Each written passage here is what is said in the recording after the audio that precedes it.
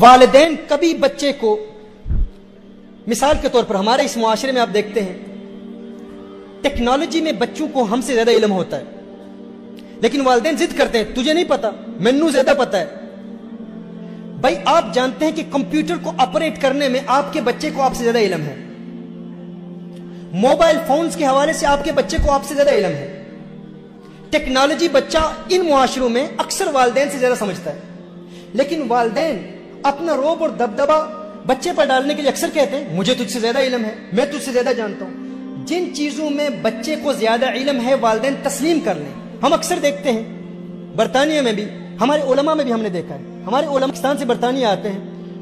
تو اکثر، میں اکثر علماء کی بارگاہ میں بھی عرض کرتا ہوں، انہیں انگلش نہیں آتی اور انگلش میں خطاب کرنے کی کوشش کرتے ہیں۔ حالانکہ ان کی اردو کی وجہ سے ان کے مخاطبین میں ان کا ایک روب اور ایک ادب اور ایک دبدبا ہوتا ہے۔ لیکن جو ہی وہ انگلش میں بات کرتے ہیں تو ان کا لہجہ ان بچوں کی طرح نہیں ہوتا۔ تو بچے سمجھتے ہیں کہ جس طرح ان کی انگلش میں ناپختگی ہے، اسی طرح ان کے علم میں بھی ناپختگی ہوگی۔ یہی فرینچ میں بھی ایسا ہوتا ہوگا، فرانس میں بھی۔ یہی رویہ والدین کا بھی ہوتا ہے۔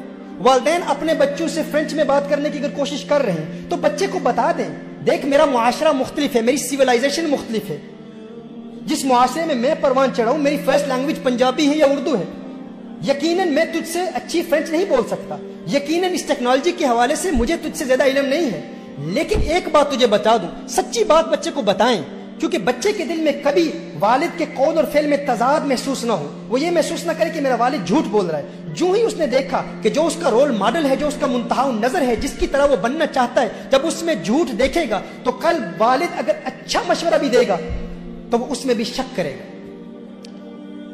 والد بتا دے کہ ان معاملات میں تیرا علم مجھ سے زیادہ ہو سکتا ہے، لیکن یاد رکھ، جتنی دنیا میں نے دیکھی ہے وہ تو نے نہیں دیکھی۔ جتنا دنیا کا مجھے تجربہ ہے، اتنا تجھے تجربہ نہیں۔ لوگوں میں معاملات کا تجربہ جتنا مجھے ہے اتنا تجھے نہیں۔ ہے سراہتن بتا دے، اور جس چیز میں بچہ آپ سے زیادہ علم رکھتا ہے، کبھی بھی جھوٹ بول کر اپنا روب دبدبا دکھانے کی ہر کوشش نہ کرے، اس سے بہت بڑا نقصان ہوتا